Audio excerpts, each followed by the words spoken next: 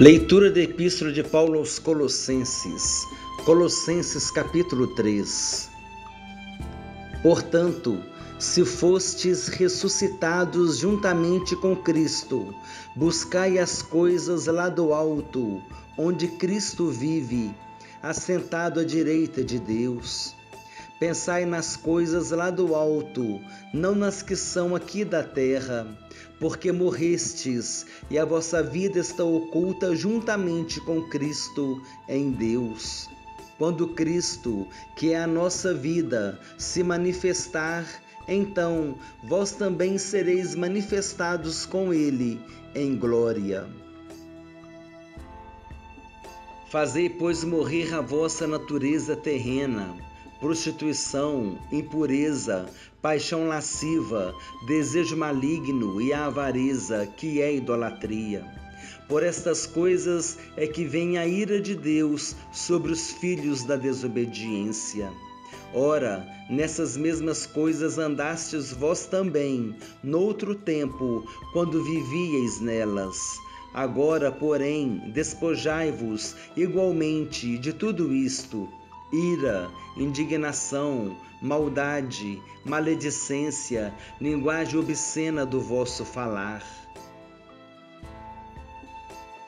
Não mintais uns aos outros, uma vez que vos despistes do velho homem com seus feitos e vos revestistes do novo homem que se refaz para o pleno conhecimento, segundo a imagem daquele que o criou, no qual não pode haver grego nem judeu, circuncisão nem incircuncisão, bárbaro, cita, escravo, livre Porém, Cristo é tudo em todos.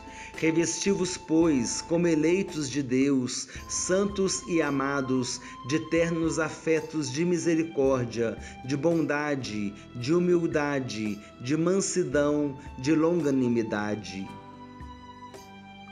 Suportai-vos uns aos outros, perdoai-vos mutuamente, caso alguém tenha motivo de queixa contra outrem. Assim como o Senhor vos perdoou, assim também perdoai vós. Acima de tudo isto, porém, esteja o amor, que é o vínculo da perfeição. Seja a paz de Cristo árbitro em vosso coração, a qual também fostes chamados em um só corpo, e sede agradecidos. Habite ricamente em vós a palavra de Cristo.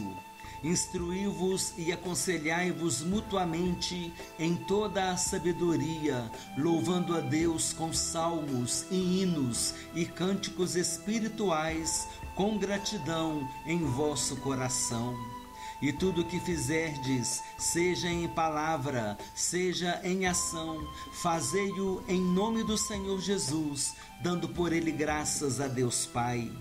Esposas, sede submissas ao próprio marido, como convém no Senhor. Maridos, amai vossa esposa e não a trateis com amargura. Filhos, em tudo obedecei a vossos pais, pois fazê-lo é grato diante do Senhor. Pais, não irriteis os vossos filhos, para que não fiquem desanimados. Servos, obedecei em tudo ao vosso Senhor segundo a carne, não servindo apenas sob vigilância, visando tão somente agradar homens, mas em singeleza de coração, temendo ao Senhor. Tudo quanto fizerdes, fazei-o de todo o coração, como para o Senhor e não para homens, cientes de que recebereis do Senhor a recompensa da herança. A Cristo, o Senhor, é que estáis servindo, pois aquele que faz injustiça receberá em troco a injustiça feita, e nisto não há acepção de pessoas.